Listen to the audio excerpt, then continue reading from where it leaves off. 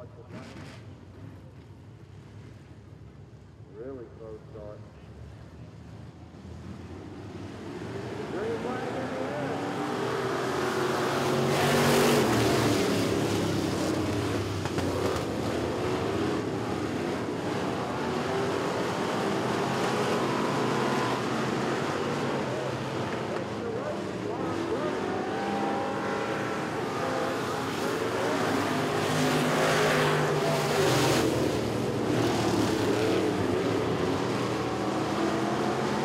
Single file from first to the tail. Jacob Lynch looks to be making a charge for that second spot. Overdrives it in the middle of three and four, loses a lot of momentum. Now here comes Marlon Gunner trying to make a charge back on the leader, Brawley Stillwell. The man known as Puddin leads this event.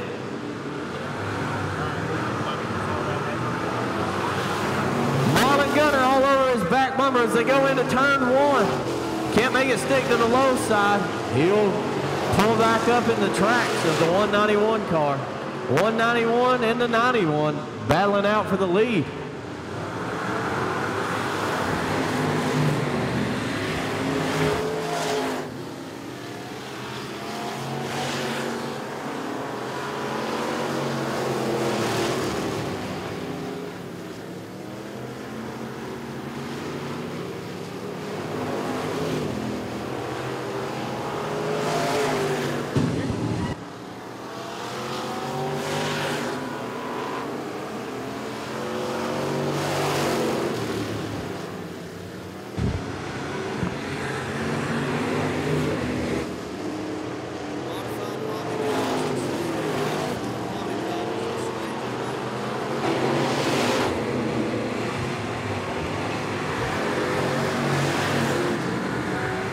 Halfway home. Things have calmed down a little bit. Brawley Stillwell looking to hold on for his first career victory in that 191 car. Lap traffic could play a factor. The youngster versus the veteran. We'll see which one makes it through slower traffic quicker. Gunner looks to the inside. Lets off keep from making contact with the leader. Stillwell drops to the low side of the slow car. Gunner goes extremely low.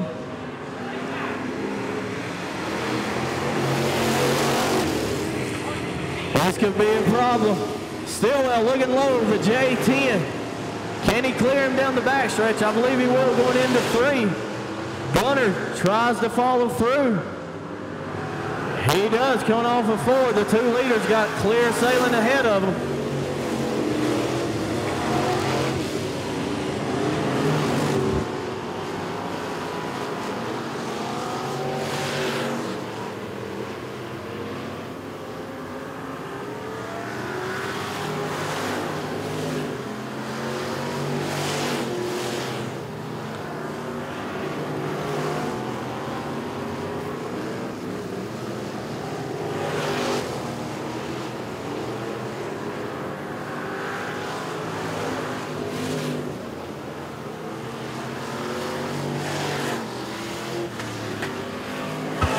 He drifts high off of turn number two. That's the advantage the veteran Marlon Gunner was looking for.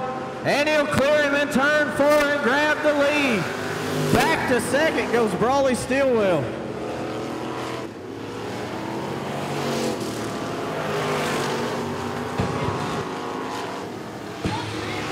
Stillwell going to stick to the cushion. One lap to go. He's got a run on him coming out of turn number four. Down into turn Can't quite make it. Off of turn two, we'll have one more shot. Down into three and four they go. To the inside. Not going to stick. Give the win to Marlon Gunner. Brawley Stillwell hangs on to second. And it looks like Jacob Lynch will finish third. Dylan Truehead will cross the stripe in fourth.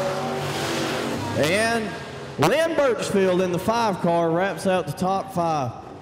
Whew, that was exciting last few laps. Good finish for Brawley. Thought he had his first win.